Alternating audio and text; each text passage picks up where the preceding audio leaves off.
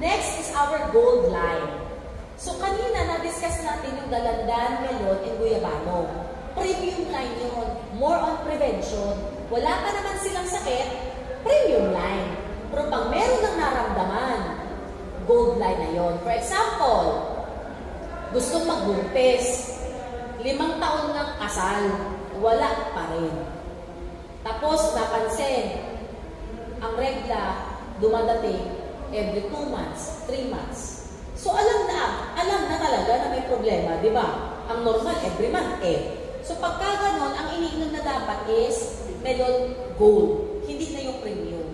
No? Melon gold na.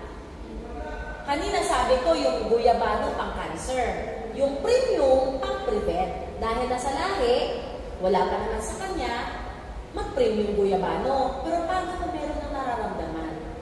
Meron nang nakakapangbukol, ayaw magpa-check up ako.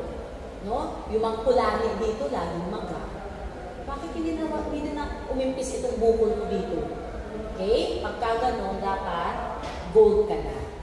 No? So, ito po yung recommended natin sa mga tao na may maintenance na rin.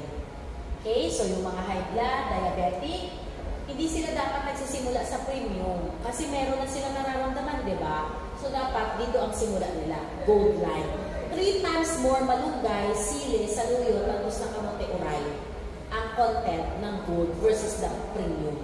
Okay?